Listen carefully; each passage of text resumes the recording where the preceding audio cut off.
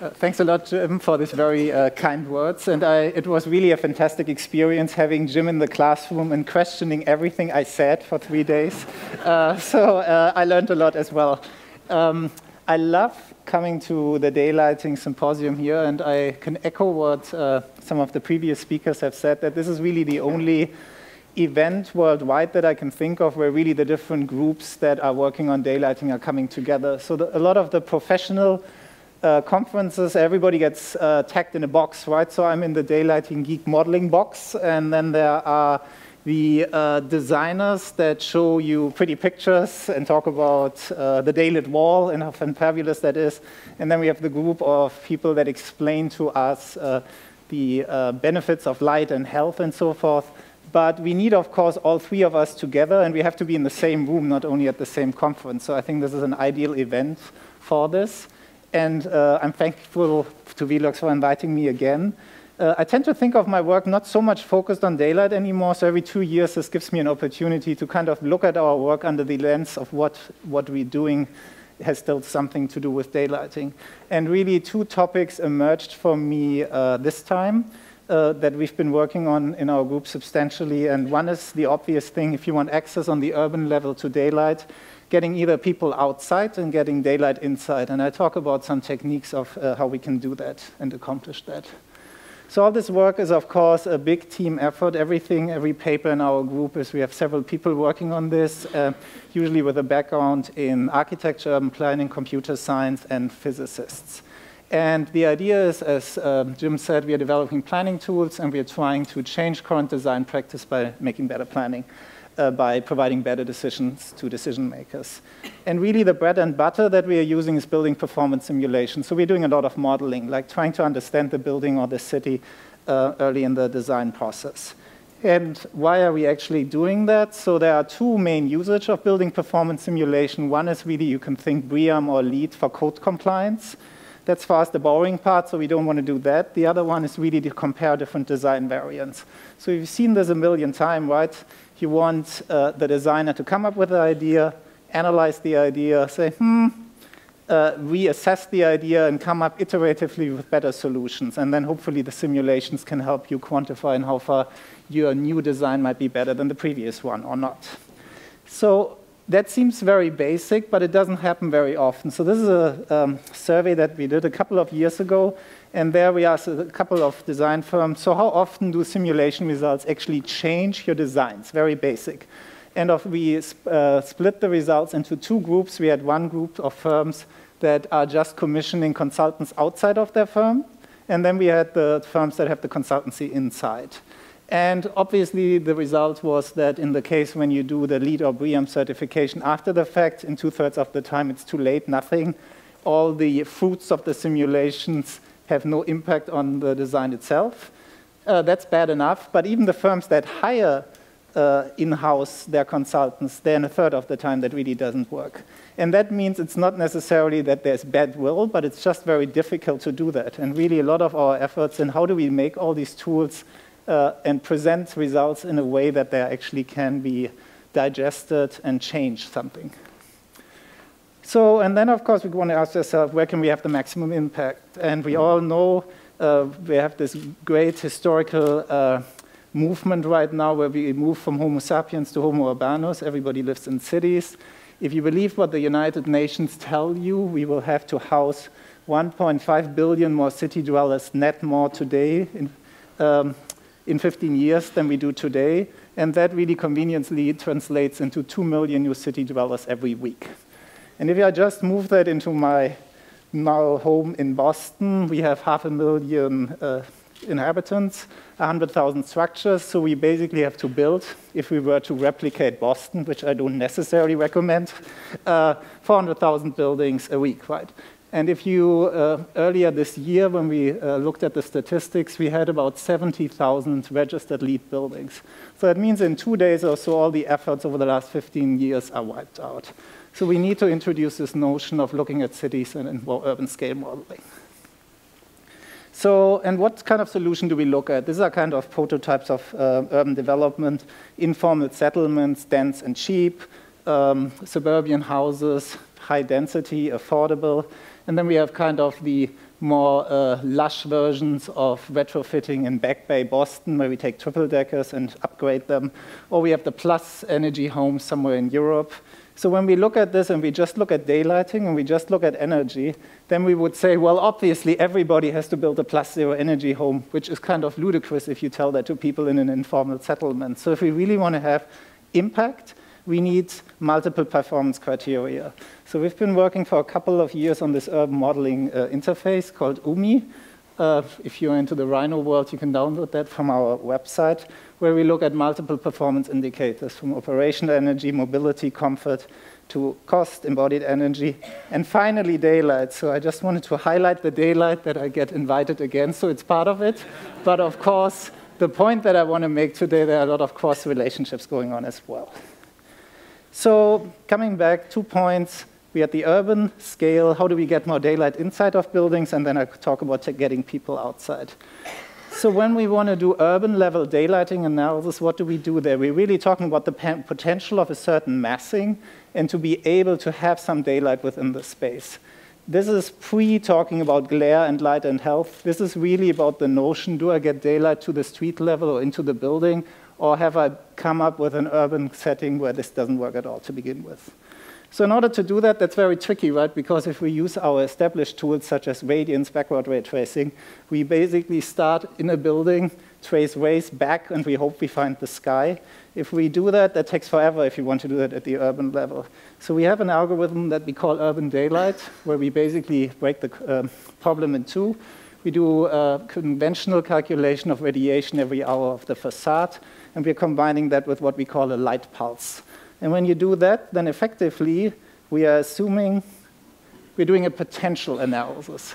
So we are saying, okay, let's assume there are no interior walls. We just want to know in how far the building massings, if there are no walls, can accommodate a lot of light in the space.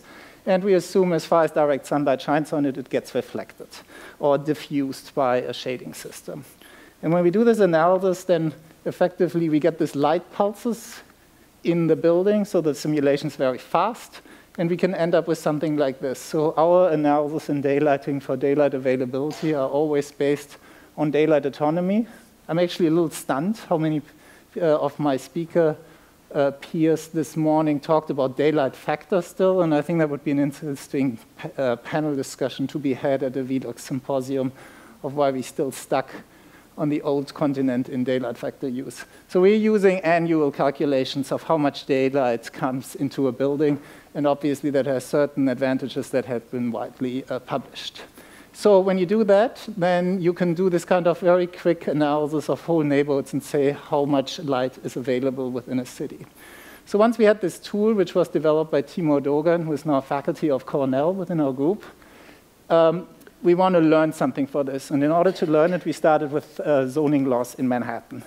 So um, obviously, there's a certain conflict, right? If you want density, given the number of urban dwellers that we're going to have, we have to densify our cities, but at the same time, we want to keep the daylight. So we want to understand the relationship between these two variables. So uh, obviously, iconically, the zoning laws in um, New York have been in effect since 1916. And there are three main components. Uh, one is that we want uh, exposure on the street level, so the streets gets a certain amount of daylighting, which leads to the setbacks. Then you have the Rockefeller Center effect, where when the building gets higher, it has to become narrower. And then if you uh, manage to create oops, a space uh, on the street level, you can build higher. So what this leads to is effectively something like other way around something like this, where we say we have a certain density. If you're below that density, can, uh, it's daylit, otherwise it's not. And we want to see if that's really true. So in order to do that, we started this massive simulation study where we came up with five different urban archetypes, and we increased their density from a floor area ratio of 2 to 30, which is really massively dense.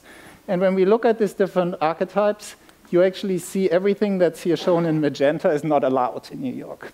So you can only build whatever's on the left. But when we do actually annual urban performance in cities built like this, we actually see that some of the uh, the urban typologies perform very well. So when you take that in another graph, then here you see density again, and you see on the top for different archetypes, how often do they meet the urban LEED criteria. And then you basically see that some typologies are really pitiful, but some, especially this kind of uh, pencil tower approaches that you see popping up in Manhattan right now, you can actually build extremely high. So this uh, variant here can have a floor ratio of 25, which is enormous.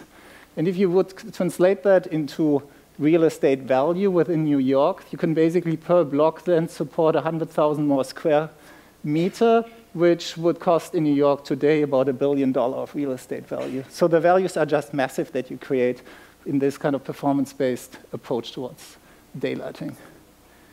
So we covered the first part. Now I want to talk a bit about our work towards how do we get people outside. And that's very, very tricky. So just the understanding, I'm talking really from, a, uh, from understanding how people uh, behave in cities.